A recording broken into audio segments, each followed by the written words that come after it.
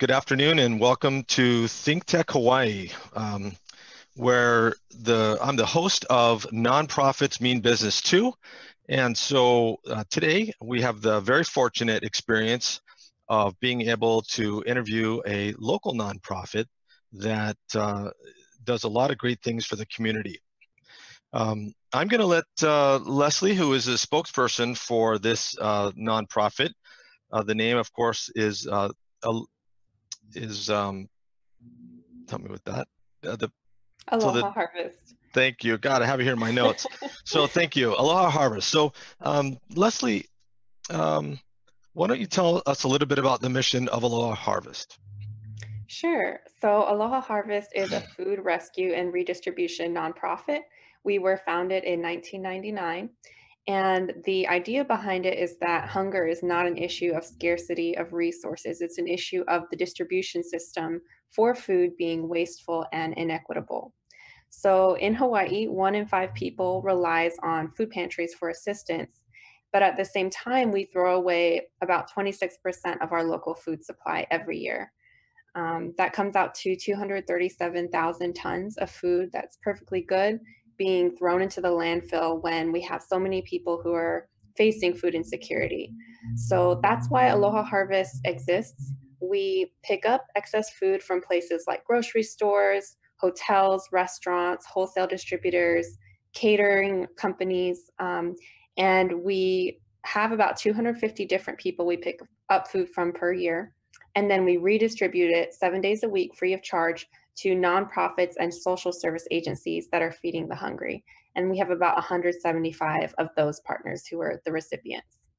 Wow, that's impressive. Um, I remember going over some of those stats with you in the in the beginning.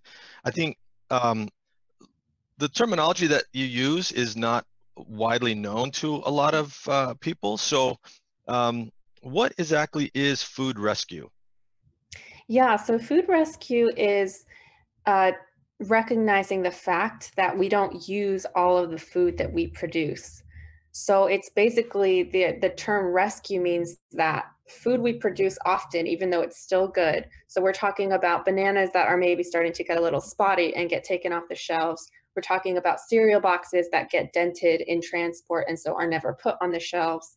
Um, yogurt that's uh, like a day out from its best by date. I would still eat it. I would still feed it to anyone you know so it's that kind of food that just because there's no way for these businesses to sell it it gets thrown away and so instead we step in and we're protected from liability as well as the donors by state and federal legislation so That's we step key. in yeah we rescue that food and then we get it out for free because it's it's not going to be sold anyway and we get it out for free to the people who are who are feeding those in need.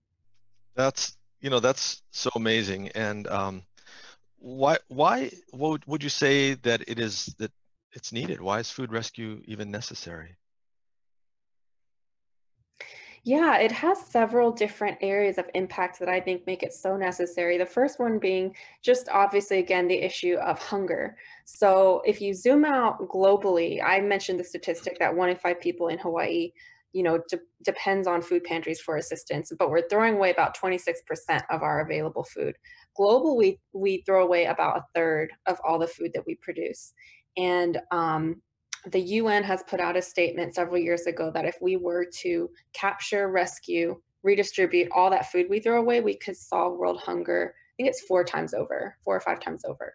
So that's why it's necessary because we have the resources to fix this problem. It's just the work of changing our, our mindset about it and our distribution system. So that's really our goal is not just getting people fed, but helping to spread awareness of the fact that it's even an issue that food so much food is being wasted while people are going hungry. So that's the first most obvious area of impact. And then there's also an environmental and economic impact. So on the environmental side, rotting food in the landfill produces methane, which is a greenhouse gas 25 times more potent than carbon dioxide. So the more food that we divert from the landfill and put to good use, the more we can lessen our footprint in greenhouse gas emissions. And then finally, as you know, we import so much of our food and we spend lots of money to get it here. So the fact that we are spending money on importing food via plane and ship and everything, and then turning around and throwing it away, we're literally throwing away dollars when we do that. So again, when we can put that to good use and its second life, you know, if it doesn't get sold, then we are building up and strengthening a more resilient community and actually getting our worth out of the dollars that we spend to get food here. I absolutely love that. I when I heard what you do and how you do it, it's just it makes so much sense. And the the fact that you guys are doing it and you're so very passionate about it, I really I love that as well. Um, and so, where does a lot of the, you mentioned where some of this food comes from? I know you're uh, working with various um, restaurants, hotels, mm-hmm. uh, uh, even people who grow food. Uh, and then, how has COVID 19 uh, affected Aloha's uh, operations? It's a great question. Um, during COVID 19, the past two months, we have really gone into overdrive.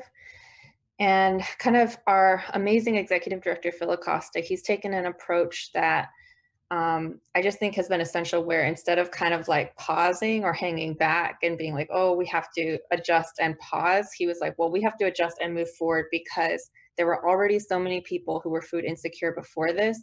And we know as unemployment is peaking, that even more people than ever are in need of free food. So um, in March, we doubled the amount of food that we rescue compared to March of last year. And then in April, we're just wrapping up those numbers. We increased by 78%. And that is probably a temporary spike in excess food, just as everyone on the food supply chain was scrambling to, you know, people were having to close, people were having to change hours, convert to takeout. So, ironically, even though the number of people struggling with hunger was increasing, there was actually even more food that, if food rescue wasn't in place would have just been thrown away because there was nothing to do with it as they were trying to adjust. So we were able to increase the amount of food that we rescued. Um, and that's opened up a lot of different collaborative partnerships in order to actually you know double the amount that we're not only capturing but then where does it go like how to partner with people to make sure it gets out into the communities where it's needed you know, um, I'm fortunate enough to be uh, belong to one of those organizations uh, that that you contribute to. And I and I got to tell you, being on the front lines, it's an amazing experience uh, to be able to bring this resource into the community, and it uh, it does. It makes a huge difference. I was surprised by the um, amount of people that that were uh, in need and are willing to come out and and receive this uh, wonderful gift that that you guys are redistributing. So um, I just I can't say enough great things about what Aloha Har- Harvest is doing. Um, so you've uh, so you had mentioned that there has there been an increase or decrease in the new and the need for food rescue.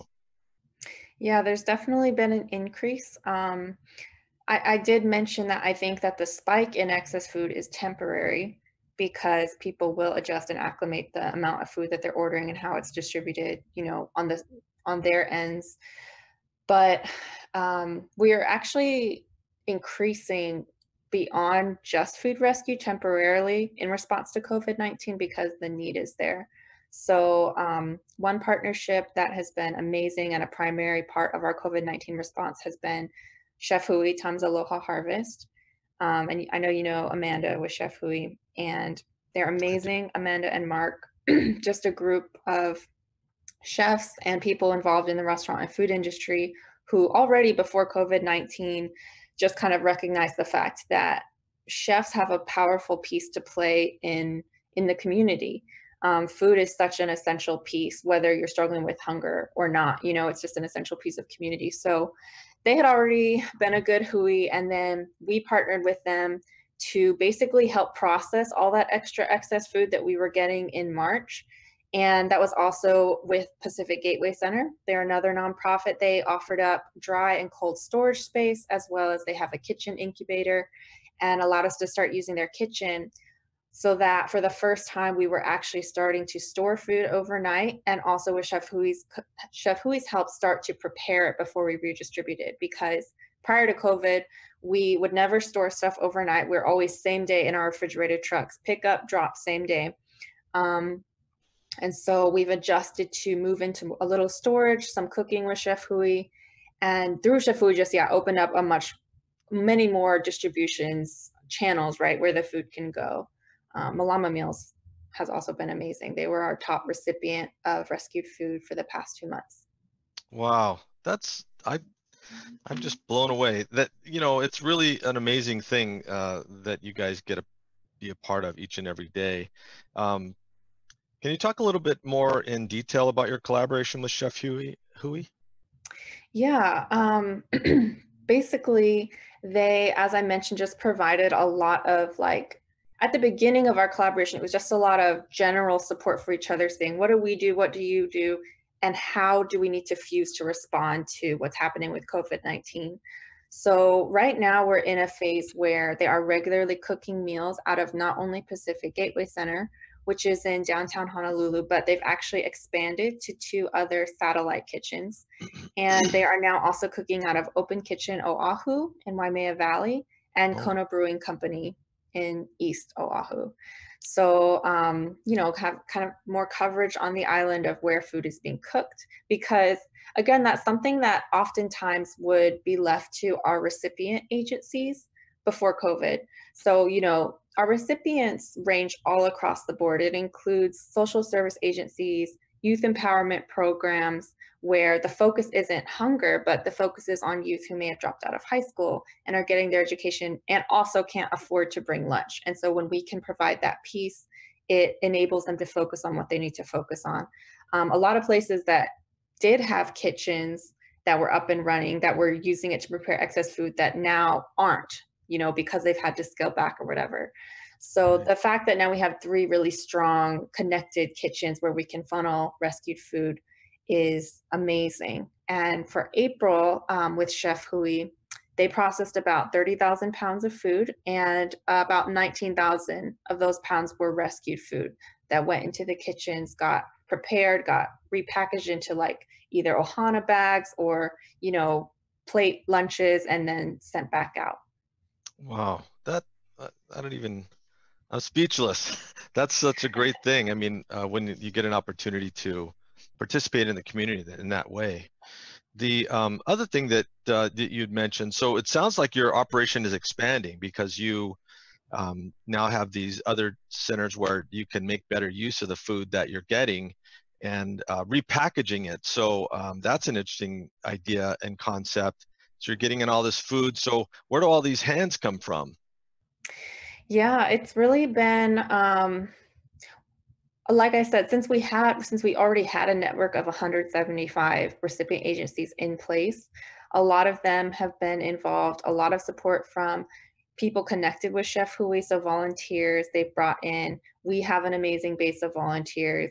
And then just a lot of like, we've provided support for pop up grassroots distributions where there's already people, whether they're co- directly connected to an agency or not, who are popping up and setting things up. And then we just come in and support as needed. So, Wow. So yeah. that's a that's a good. Uh, so if uh, so, w- would an organization then just reach out to you and say we're interested in participating or being recipients of some of that repurposed food that you're referring to? Yes, and that information is on our website at alohaharvest.org. Um, we're encouraging people to go through there or just to email our general info at alohaharvest.org for now because we we're not in the office all the time anymore with working from home. Um, but basically on our website, there's a simple intake form where you can apply to receive rescued food. There's food safety guidelines. Uh, there's that information I mentioned about protection from liability. So I would encourage anyone who wants to receive can go through there. You know, being in, in the insurance industry and um, understanding the nature of liability, that's such a huge piece. And it really, I think, is the impetus for allowing these different organizations to give as freely as they are. So mm-hmm. um, that's that's amazing, and we could certainly talk about that at some point. So let's talk about um, what are some of the current projects that you have in the works. Yeah, um, actually, I did just see. I wasn't sure if right now was a good time if you wanted to go on that break, and then we oh. could return to that after. Yeah, you know, she will uh, one minute to, uh, to break. She says so. Oh, oh okay. we, we can break at any time. Let's go ahead and do that now. Okay, thank you. You're welcome. Hi, I'm Rusty Komori, host of Beyond the Lines on Think Tech Hawaii. I was the head coach for the Punahou boys varsity tennis team for 22 years, and we were fortunate to win 22 consecutive state championships. My show is based on my book, also titled Beyond the Lines, and it's about leadership, creating a superior culture of excellence, and finding greatness. I feature a wide range of amazing guests who share valuable insights about how going beyond the lines leads to success in everything you do in life.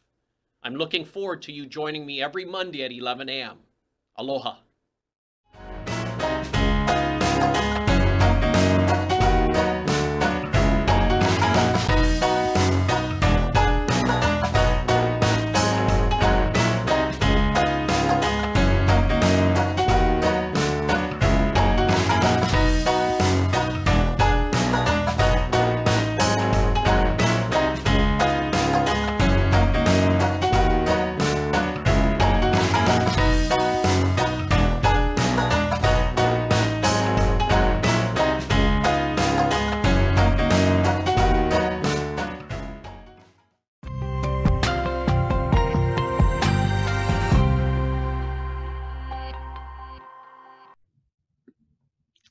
Welcome back uh, to our show. We are talking to uh, Aloha Harvest, and Leslie Pyo is their representative who uh, very well versed on the subject. And uh, I got to tell you, I'm very impressed with everything uh, that they do over there. And uh, so Leslie, you wanted to talk a little bit about some of the current projects that you have going on in the works. Yeah. Um, so a couple that are cool to highlight because I know you're directly connected to one is that, as I mentioned, we've worked with groups that are doing pop-up distributions. And so we started working on distributions in Palolo and Papakolea and Waimanalo. And I'd love to offer you, Brandon, if you'd like to just talk about your involvement with the okay. distribution at Palolo and what you've seen there.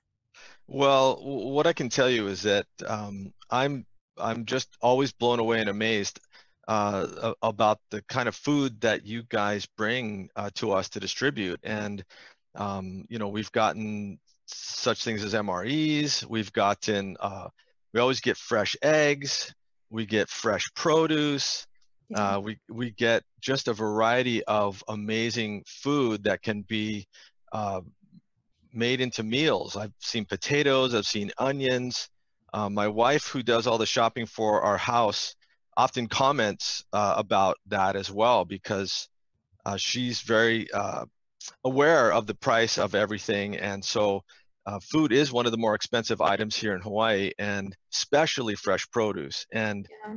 you guys deliver in spades on that. And it's uh, it brings such a, a, joy to my heart when we're able to distribute such high quality food. I'm uh, meals ready to eat. Uh, the MREs I mentioned, but uh, the uh, also the the meals that are uh, pre-prepared. We've gotten yep. meals from Mud and Honey. We got uh, a meatloaf mashed potato meal that all you had to do is warm it and serve it to your family. We got um, there was a pasta meal with chicken and pasta and cream sauce. I think you got may have gotten that from Foodland. Um, and all you have to do is pop it in the oven. And they were ready to make uh, soups that were already ready made. All you have to do was warm them. I remember one of the recipients looking down into the what they were receiving and they're like oh i'm i'm going to make that tonight. And i was like wow you know?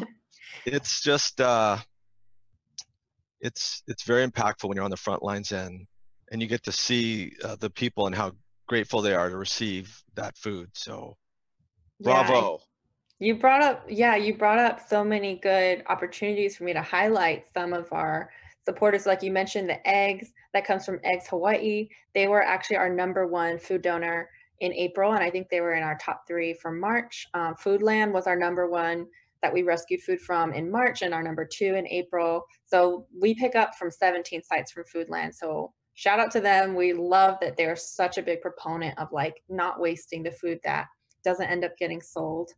Um, and the MREs came from FEMA.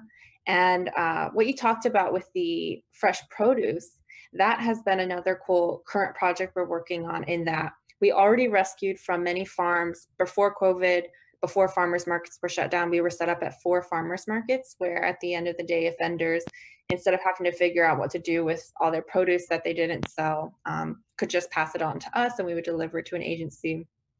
But a new problem that's popped up that we've prob- that we've worked to address is just providing support for the existing like typical food supply chain. So outside of food rescue, you know, our food industry is hurting, especially our local ag producers. And so we have worked with Chef Hui in large part to secure grants and fundings to start being able to not only rescue produce that's going unsold from local farms, but to actually help pay for some of that as well so that they're supported through this as well as the people on the other end receiving the food. Wow. So we're really excited to be able to do that. Um, and there have just been, I want to, you know, specifically highlight um, the Harry and Jeanette Weinberg Foundation. They are helping provide funding for our uh, staying at Pacific Gateway Center. We partnered with the city and county of Honolulu to do the first mass food distribution. It was at Waipio Soccer Complex, and we gave out 1,000 bags of ready to go. Uh, it provided food for, I think, six to eight families of six to eight people. Everything you need, like for groceries and for making a special soup. Um, yeah, there's several more I could highlight. You can always go on our website and see our Mahalo banner, but those are some of the some of the ones I specifically wanted to say thank you to. That's that's great. You know, and then the the whole coordination of all this logistics uh, that goes on behind the scenes so that all this can happen it, it's that is another amazing feat. Um, do you want to talk a little bit about that? Sure, that's a great opportunity to say we have the best operations manager in the world. Her name is Mele, and she's been with Aloha Harvest for 10 years. So she's really like the heart and soul behind so much of what happens. And uh, it, it's actually a small team, which is pretty cool. It's um, we just hired a um, data and communication specialist this month but prior to that, it was just Phil, our executive director, Mele, our operations manager, and I'm the community resource coordinator. So we're the office, and then we have about eight drivers who are out there seven days a week. Uh, everybody loves them, you know, everybody gives them a honk when they see them on the road. So they're like the faces out there doing the work. But that's amazing. yeah. Well, you have a very, uh, I'm impressed it would seem that you had a much larger organization by the amount of distribution that you are such a huge part of. So how does, uh, wow, that's amazing. And then you coordinate uh, all the volunteer effort as well. Yes, which I can say, I know some people listening to this might be wanting to volunteer, and I would encourage you to go to alohaharvest.org slash volunteer. Uh, there is a note on the website, and I'll just say it now that we're in a transition period where you know as soon as, as soon as covid hit we had to scale back or change or just pause a lot of our normal volunteer activities and um, we're in the we're in the process of like basically bringing on new volunteer management software and creating adjusted opportunities that people can help with during covid so there's a short form for you to fill on our website and as soon as our new system is up i'll reach out to you and send you a link to register in the meantime, volunteers who are already all are already registered have still been able to help, but just it's it's been on a smaller scale until we can get our new system up. That's amazing. Um, one of the things I'd like to find out a little bit more about as well is what kind of projects do you hope to achieve over the next several years? Yeah, that's a great question. Um, we're very fortunate in that Phil, our executive director, is very ambitious in his desire to get as many people fed as possible and to rescue as much food as possible.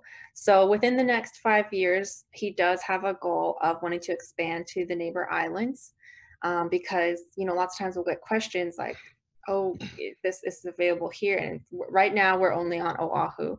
So we would like to expand to the neighbor islands. We also would like to be able to have more of a resiliency hub where in a way covid was the impetus for moving into things that were already on our like future dream list like starting to have storage space starting to partner more directly with people who can cook the rescued food before we give it. Um, so I'd say our second big goal is storage and a hub where the food can be just better dist- better distributed and um, build up more long-term resiliency so that because hunger is going to remain right? Even after this pandemic passes it was there before That's it will be there after. And yes. so just being able to use kind of the fact that this has put more of a spotlight on it and everyone's more aware of it and and capitalize that in a way to be like yeah and so let's like get the systems in place to where we're ready to respond to the next one. And in the interim we're able to better care for the people who were already in that boat before all this happened that's just amazing i mean i i i guess we're getting close to the end of the show and i just wanted uh, to ask um, how can the listeners support aloha's uh, harvest it's a great question. Listeners can support really just taking stock of whatever resources you do have. If that is time, maybe doing going on our website, poking around, learning more, and deciding I'm going to be an advocate for Aloha Harvest. So I'm just going to start sharing this information. Maybe even once restaurants are back up and running, I always encourage people ask your server, do you know about Aloha Harvest? And just be ready to give them the little three sentence pitch that's right on our about page of our website of who we are and what we do. If that's money, you can always donate um, as a nonprofit. Obviously, we always appreciate financial donations to help keep us running. Um, if that's connections, feel free to reach out. Again, through our website, our contact information is there and say, hey, I, I run this business or I know this person and can I get you guys connected? Especially during COVID 19, that's been amazing. Just like an explosion of connections with people like you. So well, you're so nice. I, you know, I'm, the, I'm bitten by the bug, so you can, you can assure that I'll be reaching out. I've already, we had a discussion earlier about some of the things that I want to become involved in to bring additional resources uh, to bear. So, uh, the, it's, uh, it's an exciting time. It's an amazing uh, bit of work that, that you're doing, and. Uh, sorry. That's okay. um, and you know, uh, having children not go to bed hungry. I mean, that's that's that's a huge thing, and and I know that uh, it's it's very near and dear to your hearts as well. I saw some things about that on your webpage, um, but making sure that uh, that people get fed. Yeah.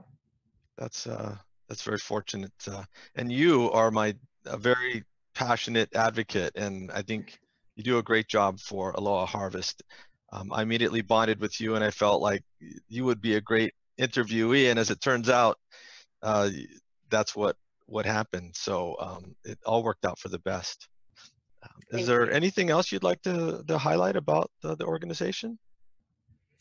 Um, I'm, I just want to say thank you. Thank you to all the listeners. And one of the biggest things I've seen working with Aloha Harvest during COVID 19 and, and even before is just seriously the power of our community. Uh, I moved here in September and I'm just so blown away by by our community and how highly prioritized it is to care for each other and to not view it as give and take but just give like if if if i have more resources i want to give so this other person can be more balanced out and so i'm just really thankful to be here and thank you to our community. We're lucky to have you, and I feel the same way. So, you know, Hawaii is a unique place. It's a beautiful place, and the beauty is in the hearts of the people who live here, and we get to see that every day. And um, I'm, I'm also very grateful. So, uh, thank you very much. Um,